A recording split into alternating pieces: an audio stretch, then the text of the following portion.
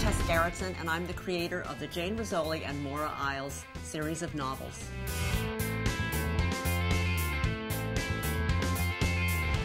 The Silent Girl opens up with a murder in Boston's Chinatown. And there's one particular clue that uh, everybody's baffled by. There are these strange hairs uh, that are left on the clothing, and the hairs turn out to be monkey hairs. So, uh, what is a monkey doing at a crime scene, and what does it really have to do with the, uh, the murder? Uh, and Jane begins to realize, little by little, in the course of the book, that the key to understanding what's going on is an ancient Chinese legend of a character known as the Monkey King.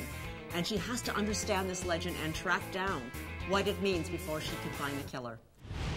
I think what's going to surprise people the most is what happens to Barry Frost. Now, Barry Frost uh, in this particular book is at romantic uh, loose ends. His wife has left him, and he is sad and he's looking for, for romance, and he finds it in, in the most unusual place in the, in the Silent Girl. I am working on the 10th novel in the Jane Rizzoli and Maura Isles series. I don't have a title for it yet, um, but it, it, picks up where the Silent Girl leaves off.